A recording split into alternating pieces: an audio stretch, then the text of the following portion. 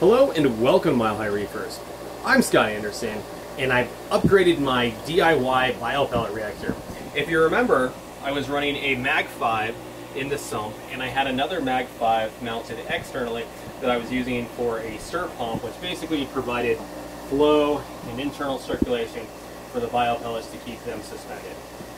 Well, I've gotten rid of all of that. I've gotten rid of all of this extra plumbing inside of the biopellet reactor that was used for the extra stir and all that. And I'm currently running everything off of my main pump for the entire system.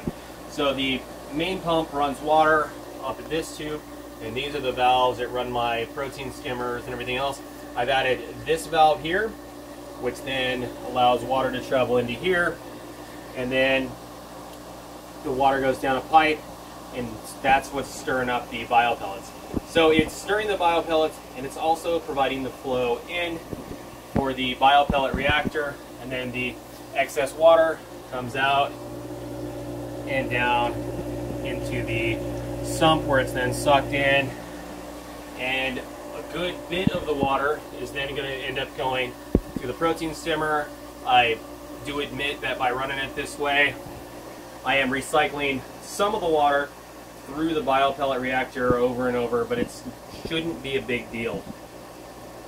But I think by doing this, I have really simplified the system. Um, one of the problems I was having before was that when I lost power, it was actually had the potential to back siphon, and I'd done a lot of work to keep that from happening. But with this system, with all of this plumbing and everything, when I unplug it, there is no back siphon. So no longer do I have to worry about sucking the biopellets out of the biopellet reactor and into the system.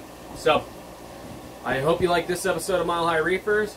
If you haven't subscribed, I strongly recommend you do. And I am also posting stuff on Facebook, so if you're interested, follow me there. Thanks for watching. Bye.